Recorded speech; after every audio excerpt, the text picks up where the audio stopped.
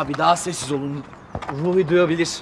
Abi daha ne kadar sessiz olacağız ki? Çorapları bile ayakkabının üstüne giydik. Ben bilmem abi. Hadi tık tık teknik olun. Abi tık tık tık tık. Böyle futbol mu oynanır ya? Bari orta gol yapalım. Hadi. İşte yüz yuvarlak bir suç aleti.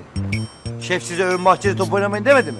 Bizim emir komuta zincirimizi niye sallamıyorsunuz kardeşim? Abi biz maç yapmıyorduk ki. Ya ne yapıyordunuz? Topun sağlamlığını test ediyorduk. O yüzden topu tekmeliyorduk.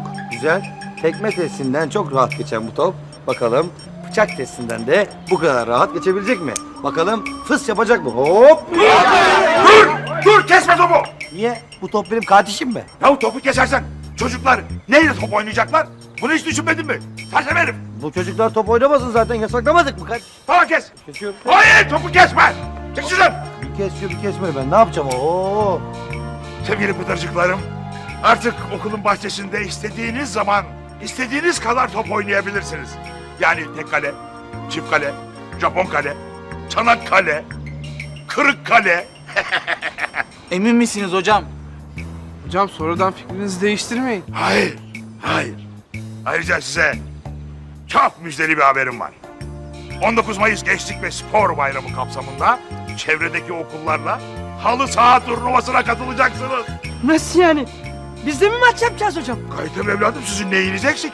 Ee, yani nüfuzumu kullanıp biraz bastırdım ve okulumuzu da bu turnuvaya dahil etmeyi başardım şerefsizim. O zaman bizim çok antrenman yapmamız lazım hocam. Gayet tabii evladım, gayet tabii. Bol bol antrenman yapın. Sabah yapın, öğlen yapın, akşam yapın, gece yarısı yapın, kuşluk vakti yapın. Şimdi hemen takımınızı oluşturun ve antrenmanlara başlayın.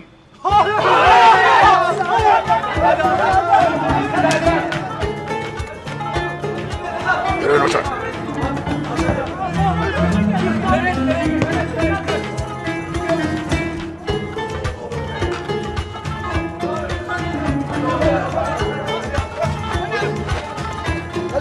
Böyle.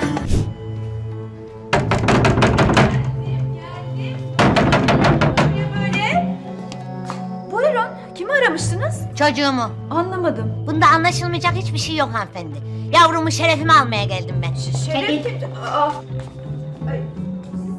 Nereye gidiyorsunuz canım? Bir dakika. Allah. Bir dakika durur musunuz?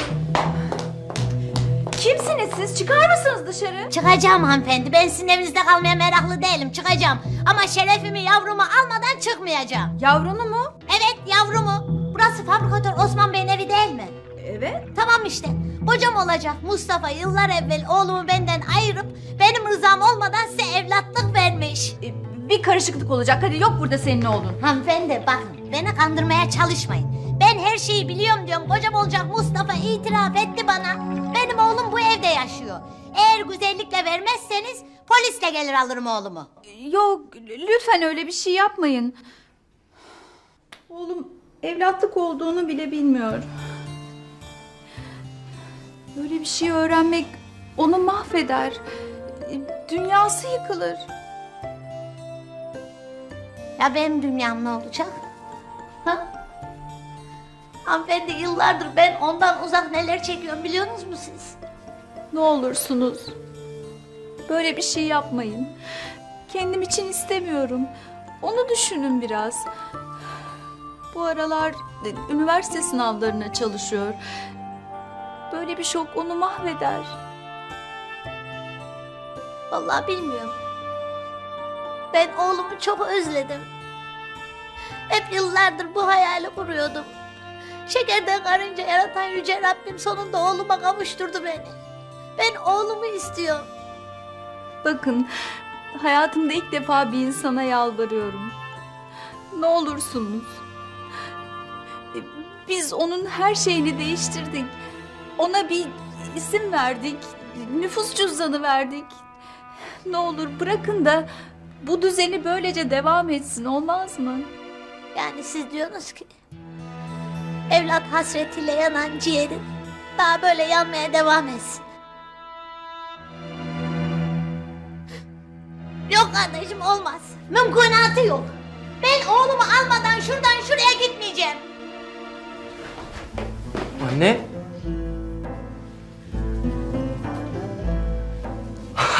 Hediye abla.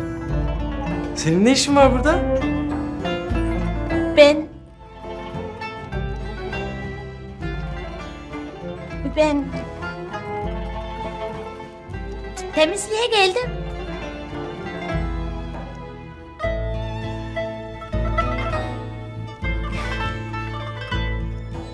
Nereden başlayacağım?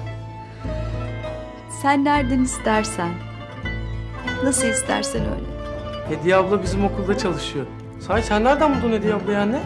Ee, bir arkadaşım tavsiye etti. E, Doğru tavsiye etmiş. Hediye abla bir tanedir.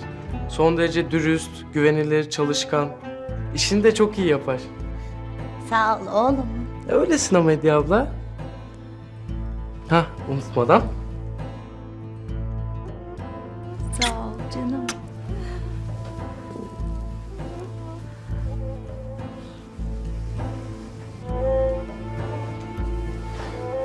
Güzel çiçekler bunlar Ardacığım. Sen aslında dünyadaki tüm çiçeklere layıksın ama ben bu kadarını alabildim. Beni doğurdun, dünyaya getirdin. Bir evlat için bundan daha önemli ne olabilir ki?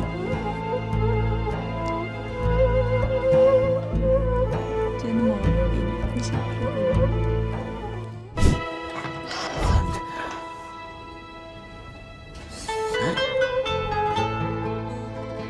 Senin ne işin var burada? En iyi tedavinin senin yanında olacağını Amerikalıları bile inandırdım. Ve işte buradayım. Evime döndüm, sevinmedin mi? Sevindim. Sevindim sevinmez olur muyum hiç? Çok özledim seni Afet. Bir daha göremeyeceğim diye çok korktum. İyi misin? Şimdi iyiyim. Telaşlandım. Ulaşamayınca çok telaşlandım. Hay Allah ya. Sürpriz yapayım derken telaşa düşürmüşüm seni. Evet, evet. Şimdi Afet Hanım bakın buradayız. Buradayız. Bu şaşkın ifadeyi bozmuyoruz Afet Hanım. Evet, limon deyin, limon. Hoş geldiniz Bozkurt Bey, geçmiş olsun. Demek Amerika'da saç dökülmesine çözüm bulamıyorlar öyle mi? Hadi iyi akşamlar hadi. İyi, iyi akşamlar. İyi, ben de efendim şey yapmıştım. Kıymalı kek yapmıştım. Kutlardık, yerdik birlikte. Olmadı biz Ruhi ile yeriz efendim.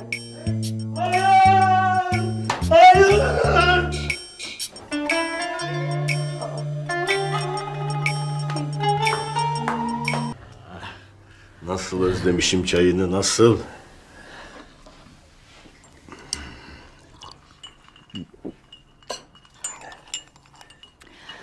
Emin Sana bir hediye getirdim.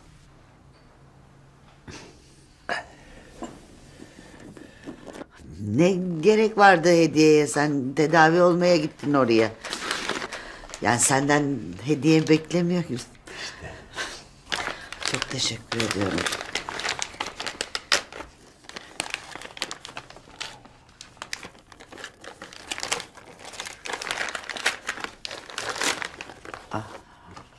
Bu kadın bana seni hatırlattı. Bir elinde meşale, diğer elinde kitabıyla özgürlüğe doğru yol alan, adaletten yana güçlü bir kadın.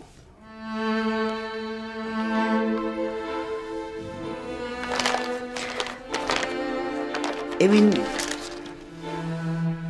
çok teşekkür ederim. Emin tedavin bittiği için geri geldin değil mi? Nihayet korktuğum soruyu sordum. Sen de bana korktuğum cevabı vereceksin galiba.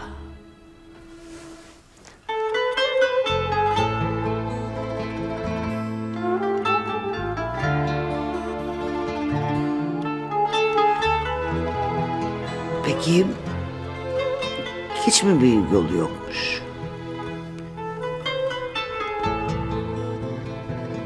Keşke onca çabayı, parayı ve heyecanı boşa çıkarmasaydım. Ama daha fazlası olamadı işte.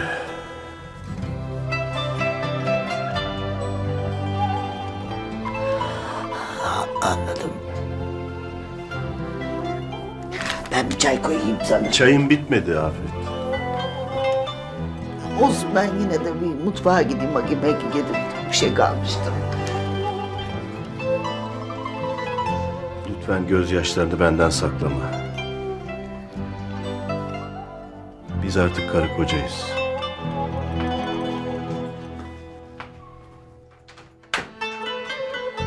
Hadi prenses ben geldim. Kerem Evet abla. Abla senin sesin pek bir üzgün geliyor. Yine aşçılık işlerinden mi kaytardın yoksa? Benim yaptığım makarnayı seviyorsun diye sürekli bu tembellik nereye kadar? Koskoca öğretmen oldun. Aa! Emin öğretmen gelmiş. Öğretmenim. Nasılsınız? Hoş geldiniz. Nereden çıktınız öğretmenim? Dün akşam afla tahliye oldum. Öğretmenim bomba gibi iyileştirip geri gönderdiler sizi değil mi?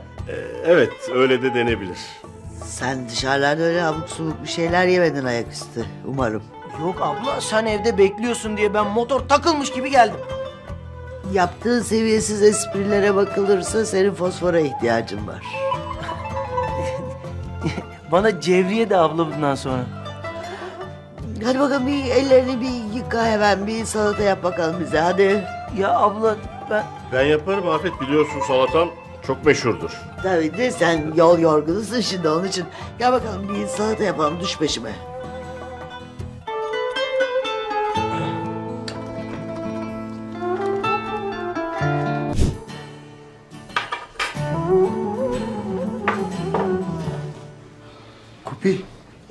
Sandviç nereye abi? Tavuk sandviç mi? Ton balık sandviç vardı oğlum. Olur mu abi az önce tavuklu dedin ya. Ben ağzımdan çıkanı duymuyor muyum abi? Ton balıklı sandviç. Herhalde ben yanlış duymuşum o zaman. Hallederim kardeşim ben. Neyi hallediyoruz abi? Neyi hallediyoruz ya? Ne yapacağız tavuklu sandviçi? Abi başka müşteriye veririz. Ne güzel ya. Tavuklu sandviç isteyene kadar bekleyeceğiz müşteri değil mi? Ondan sonra bayatı kakalayacağız müşteriye. Kopil. Müşterinin yanında olmuyor abi ya. İyi misin sen? Kötüyüm abi. İki sandviç malzemesiyle bir sandviç yapıyorsun. Ondan sonra onu satamadan getiriyorsun abi. Ondan sonra biz niye zarar ediyoruz ya? Ederiz tabii. Abi yanlış duymuşum dedim işte ya. Niye büyütüyorsun bu kadar? Büyütürüm abi. Arkadaşlık da bir yere kadar ya. Olmaz abi böyle şey. Tabii senin tuzun kuru abi. Senin tuzun kuru. Bu dükkan battıktan sonra Sedat'ın dükkanı batmış olmayacak. Ali'nin dükkanı batacak. Bizim bir kola vardı. Hadi hadi kolayı ver çabuk. Hadi. Oho. Biz ne diyoruz adam ne yapıyor ya? Kopil tamam ya abi pardon ya. Pardon pardon beş karış havada akıllar. Ali bir tane kola için yaptığın muhabbete bakar mısın? Bir tane bir tane böyle batıyoruz zaten. Ali senin bende bir sorunun mu var abi? Var abi. Var. Sen hala işin ciddiyetini anlamadın abi. Hala lisedesin sen. Bu şekilde çalışmamız mümkün değil. Bak kardeşim gereksiz yere tartışıyoruz. Ben bir eve gideyim. Bir şeye ihtiyaçları var mı sorayım. O arada sen sakinleşmiş olursun ha. Tamam Sedat Bey. Siz evinize gidin. Bir daha da buraya geri gelmeyin. Ne? Bir daha da buraya geri gelmeyin dedim. Kovuldunuz.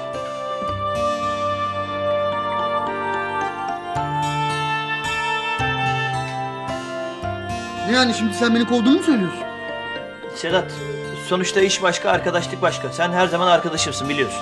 Bırak abi ya ne iş başkası arkadaşlık başkası. Ben işte arkadaşlıkla beraber diye burada çalışıyorum. Sanki ben çok meraklıyım senin sitesini çekmeye. Adamın yaptığına bak arkadaşım olacaksın bir de ya. Abi sonuçta burası profesyonel bir müessese. Yerim abi profesyonelliğini. Sanki ben sana profesyonel davranmayı bilmiyorum. Benim seni yalnız bırakmamak için reddettiğim teklifi bir duysan var ya. Sedat, daha fazla uzatmayalım abi. Daha fazla uzatmayalım. Birbirimizin yüzüne bakabilelim tamam mı? Hem Zaten benim işim başımdan aşkın. Ne bakacağım lan senin yüzüne? İşin de, profesyonelliğin de. Kafen de senin olsun.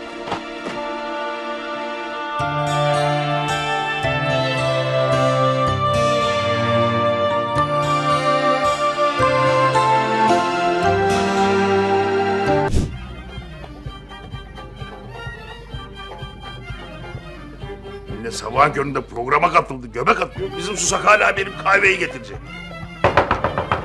Gel. Direktörüm duble köpüklü kahveyi hemen yapıp getir. Hemen yapıp getirmiş. Millet sabah köründe programa katılmış göbek atıyor sana hala benim kahveyi getireceksin. Ama şimdi tek kat köpük istesen hemen getireyim. Duble isteyince biraz vakit alıyor. Hadi oradan.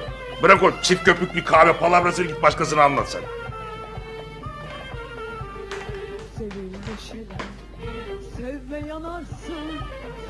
Allah Allah ya. Kadınların hiç işi gücü yok mu? Sabahın köründe televizyona çıkıp göbek atıyorlar. Ya madem o kadar boş vakitleri var niye gidip çalışıp para kazanmıyorlar anlamıyorum. Sen onlar beleşe mi gidiyor sanıyorsun? Nasıl yani? Kelle başı 20 YTL para alıyorlar. Nasıl yani? Kelle başı 20 TL. Yani hem programa çıkıyorlar, eğleniyorlar, göbek atıyorlar hem de 20 TL kazanıyorlar kafa başına. Tabii canım öyle kalsa yine iyi. Oradan oraya, oradan o programa, oradan o programa gidiyorlar. Akşama kadar 80-100 YTL para kazanıyorlar. Ya demek böyle bir işten bu kadar çok para kazanılıyor ha? Tabii canım.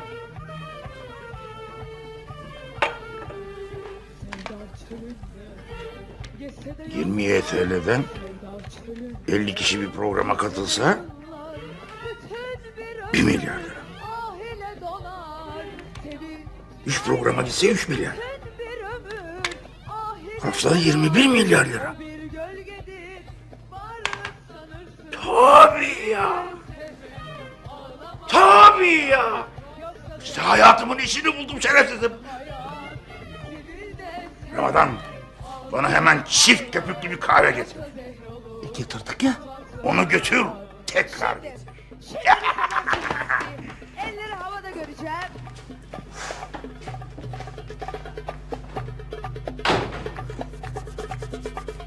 Ee, elimde 100-150 kadar seyirci var.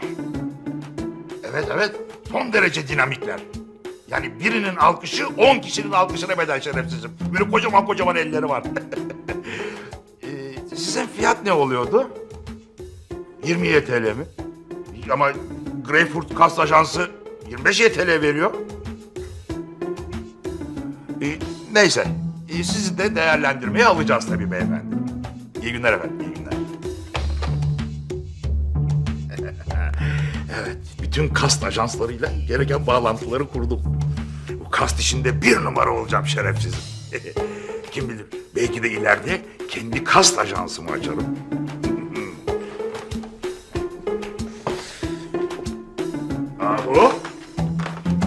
Gökhan, ne dersiniz? Balık seyirci istediklerinde sizi de göndereyim mi keratalar?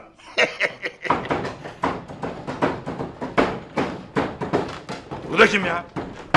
Sen de kimsin be adam? Yanıldınız. Ben perküsyon yeteneği anlaşılamamış bir bayanım. Ama sizi bu yönüm değil, güvenlik konusundaki yeteneğim ilgilendiriyor.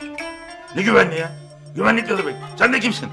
Ben okulunuzun güvenlik görevlisi Ruhi'nin ablası Ürperi oluyorum. Hatta olmuyorum. Bu olmuş halim. Ruhi nerede yok mu? Yok. Yıllık hastalığının bir bölümünü kullanıyor.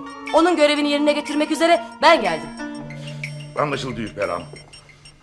Güvenlik görevlisinin yeri okulun girişidir. Lütfen yerinize buyurun. Bir güvenlik görevlisinin hattı müdafası yoktur, satı müdafası vardır.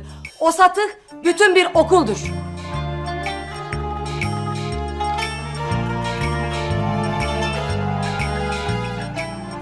Bu balıklar epeydir mi burada? Evet, epeydir burada. Peki bu balıklar güvenilir midir? Evet güvenilir. Ayrıca güvenilir olmasa ne yapacaklar? Öyle demeyin. Jaws bir filmde kaç insan yiyor biliyor musunuz? Ürper Hanım. Bu balıklar köpek balığı değil. Lütfen görev yerinize. Katil planı olma ihtimalleri var mı? Yok. Peki kanemici ahtapot? Yok. Kötü kalpli mürel? Hayır yok. İstavrit? Yok. Palamut? Lapis? Yok. Yengeç? Yok. Allah Allah. Bunlar ailece çatlak şerefsizim ya. Bana kastı mı vardı nedir bunların? Neyse kast de aklıma geldi. Ben şu seyirci işi... Sevgili beni bilirler, çalışkan ikiler ve reytingi yüksek üçler. Bugün size bomba gibi bir haberim var. Artık bizi bahçeye toplayıp konuşma yapmaktan vaz mı geçtiniz hocam? Ya parası neyse vereyim bu espri yapmasın ya. He, Sevgili pıtırcıklarım. Okulca bir televizyon programına davet edildik.